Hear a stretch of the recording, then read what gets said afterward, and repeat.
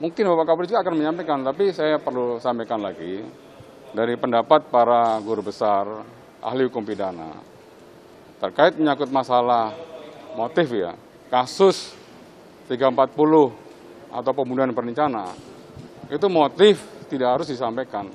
Tapi motif juga bisa disampaikan dalam persidangan sebagai gambaran dari pihak hakim ya. Hakim nanti akan menilai seluruh alat bukti dan barang bukti yang disajikan oleh penyidik di depan persidangan.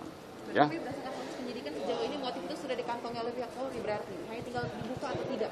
Sudah kan motif kan sudah disampaikan oleh Dirpidum kan sudah menyampaikan motifnya itu. Ya. Malam beberapa malam yang lalu kan sudah disampaikan motifnya oleh Pak Dirpidum langsung di Makobrimob kan.